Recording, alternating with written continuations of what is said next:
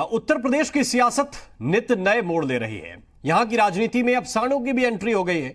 रैलियों से पहले सांडों की धरपकड़ हो रही है। बीते 25 अप्रैल को कन्नौज में महागठबंधन की रैली में एक सांड घुस गया था, जिसको लेकर मायावती ने आरोप लगाया था कि बीजेपी ने यह जानबूझकर कराया था।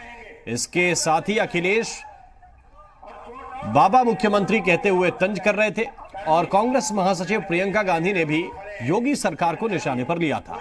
विपक्ष के आरोपों पर सीएम योगी ने भी चुटकी लेते हुए करारा जवाब दिया है। कर्मी जो भी सुरक्षा कर्मी लगे उनसे अनुरोध है कि वहाँ से लोगों को हटा दें। लड़के खड़े हैं लोग खड़े हैं झंडा दिए। वो रास्ता खाली कर दें वहाँ से तभी निकाल पाएँगे।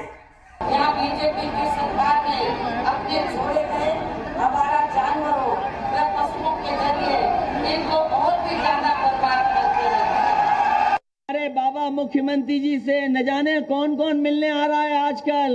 हरदोई में जैसे ही हेलीकॉप्टर उतरा सुरक्षा चक्र छोड़ करके उनसे सांड मिलने आ गया। जानते हैं कि आवारा पशु की जो समस्या है कितनी बड़ी है इन पाँच सालों में।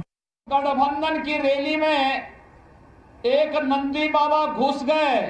ये ढूँढने के लिए कि मेरे लिए अवैध भूषण खाने का संचालन करने वाले कौन लोग हैं, इनको ठीक करता हूँ। बस योनि में जन्म लेने वाला गौवंश भी इनको बकसने को तैयार नहीं है।